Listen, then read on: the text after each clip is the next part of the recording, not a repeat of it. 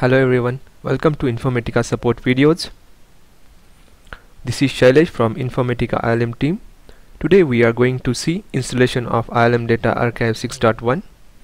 ILM Data Archive tool is used to archive non-frequently used production data to other online database or to optimize file system to improve the performance and for better space management of your production database. This video covers demo of step-by-step -step installation of ILM 6.1.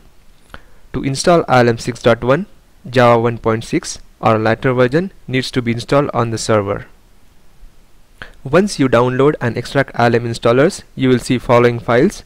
There will be two ILM installer files, ilminstaller.exe and ilminstaller.bin. ilminstaller.exe will be used for Windows installation whereas ilminstaller.bin will be used for Unix installation. For Windows installation double click on ilminstaller.exe click on the run. It will prepare to install.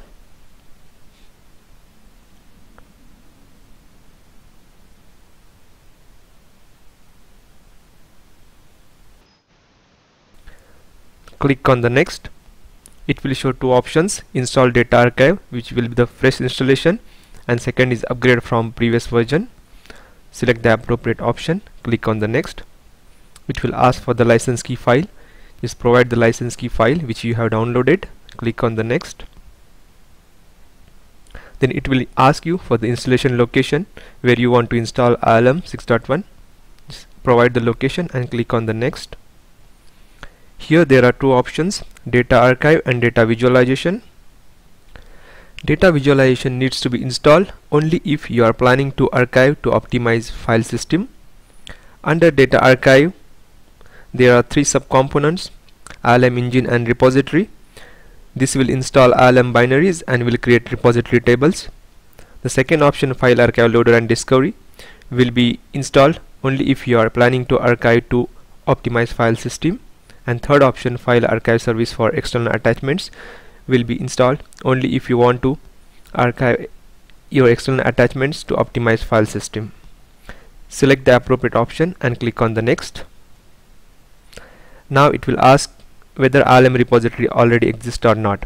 If you have created ILM repository schema that is AM home schema already in the database then select this option. Otherwise leave it blank and click on the next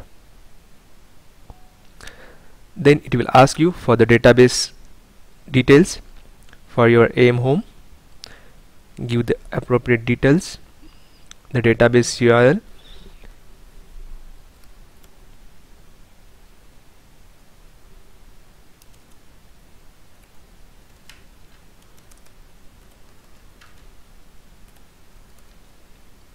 the host and port on which database is running the login name for system user system user password and then service name and click on the test connection.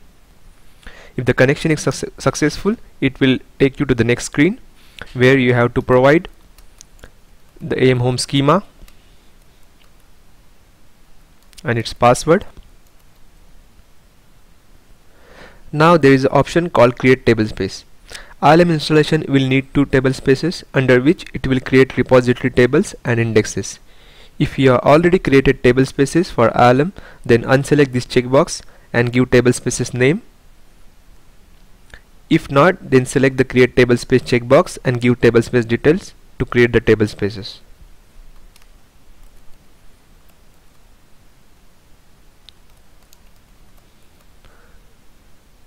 Then you have to give the file location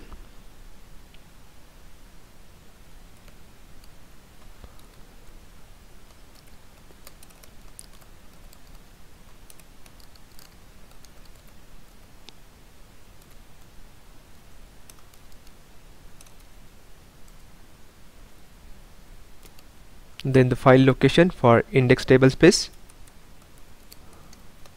and click on the next.